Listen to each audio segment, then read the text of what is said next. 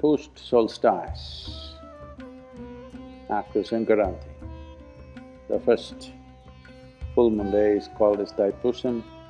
That which brings you victory, he got the fame of being the greatest warrior ever. Absolutely failed in his mission, but he is a success for us.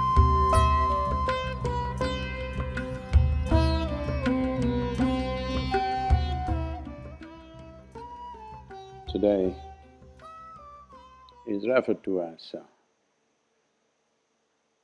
Thaipusam in the Tamil culture, which is considered to be the most effervescent of the various spiritual events that this culture is full of. Literally, every day of the 365 days are marked for different aspects of life. But this day, which is uh, the first Purnami or the full moon day, post solstice, after Sankaranti, the first full moon day is called as Thaipusam. Largely in the country, in the larger part of the country, it is known as the Dhanya Purnami.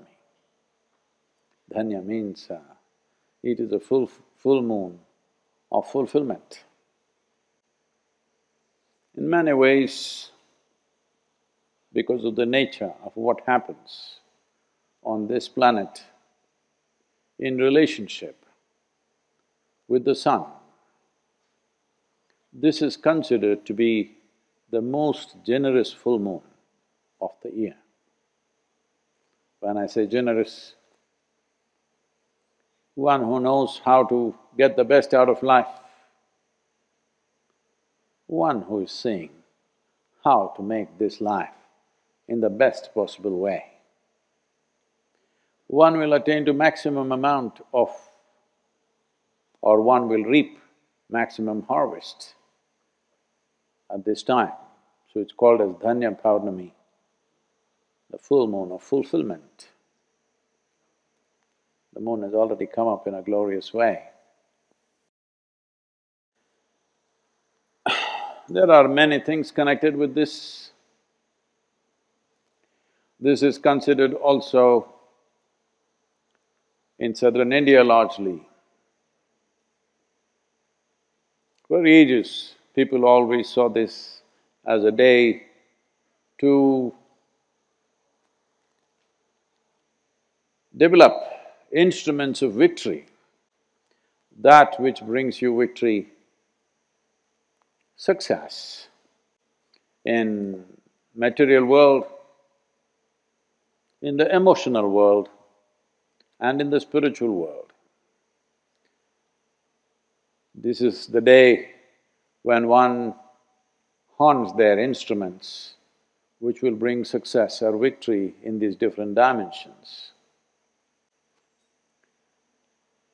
The legend goes out to say that it is on this day that Parvati gave the… the vel or the spear to Skanda, who is known as Muruga in the south. He is Skanda, he is Kumara, he is Subramanya and he is Muruga, different geographies called him differently but started as skanda. So with this instrument or this… with this weapon of a spear, he got the fame of being the greatest warrior ever. Fought across the subcontinent. It is said he went beyond the present borders of what we call as Bharat, because his name reverberated in the Persian culture as Iskandar. Went further north up into Central Asia and become Iskandar. And even today the word slightly mispronounced is used as Sikandar. somebody who is victorious over everybody, who becomes an emperor of all the rulers, but never held a kingdom. He only fought battles because he was committed to annihilating injustice. The boy was angry and uh, when somebody of immense capabilities and hugely blessed becomes angry,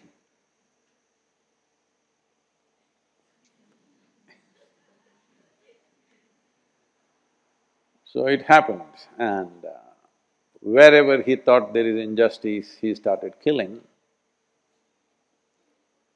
Well, literally his adolescence and youth, as a youth, he largely killed people. We don't know how many, but across the subcontinent he did and he also went slightly out. Then he realized what is justice and what is injustice is not always an absolute. It's a question of perspective most of the time.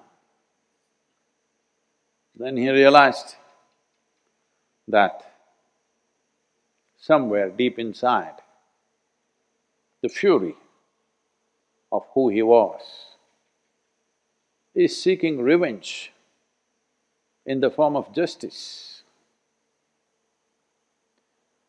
When you go after somebody thinking you will serve justice,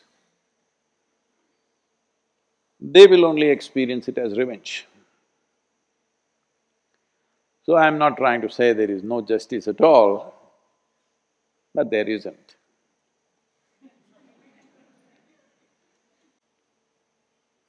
So that is Kanda's story, but he got his weapon of instrument, according to the legend, on this day. That is why he was so successful in his mission. Well, ultimately, he came to realization that his mission was not right, but that is also considered victory in this culture. Anywhere else, he would be rated as a failure because he failed in his mission. But in this culture, which is not of straight lines,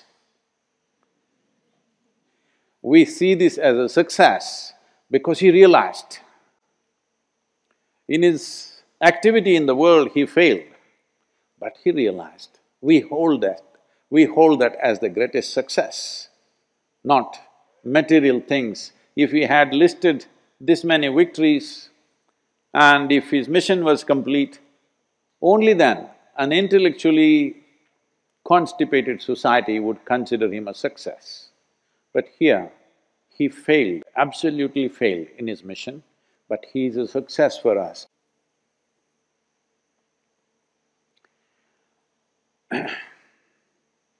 this is a day which is considered as the best day to start one's pilgrimage. Pilgrimage always meant a journey in which you'll obliterate yourself. Once again, our idea of victory is we are obliterated. Our idea of victory is not piling up people and sitting on top of their heads. Our idea of victory is to obliterate ourselves, to dissolve ourselves, because this is a land of devotion. The object of devotion is only dissolution. We may use another object as a means to dissolve, but the fundamental objective is to dissolve. Well, does it mean to say this is a culture committed to failure? No. Because within the framework of one's intellect, if once it's there, once it's here, once it's here, you would think, he is low, this is medium, this is high. But we always understood in this culture the planet is round and it's spinning, your ideas of what is low, what is medium, what is high, you're totally messed up in your head. you don't have a larger perspective of life. You're counting the steps that you climb because you're horribly identified with a little bit of earth that you gathered in the form of your flesh and bone. Because of that, your perspective is all messed up. This is a day where people start a pilgrimage, particularly in Tamil Nadu. Because pilgrimage means we have started the process to dissolve ourselves, wear ourselves down in every possible way. People walk hundreds of miles. There is a still a vibrant culture of pilgrimage here, that people walk hundreds of miles to get to the… generally to the Murugan temple in Tamil Nadu, but various kinds happening across southern India. Because according to the position of the planet, we have recognized whatever we do within ourselves for our inner well-being finds results much more easily during this time. As I said, this is a generous or a benevolent time